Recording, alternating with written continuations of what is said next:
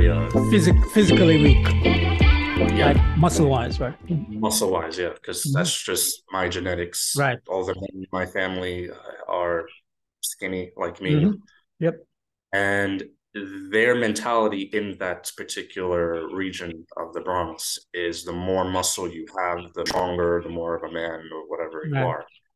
Okay, I understood. I will never be physically strong like those guys, but I can do something that these people can never do, which would be to go to these countries and live to tell the tale. That to me, Mhm. that was more powerful than having Mhm. big muscles and all that stuff, right? Mhm.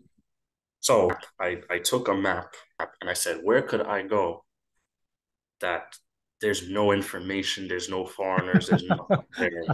That's funny. Go there. And I said, oh, hmm, there's Mongolia. But what's this over here?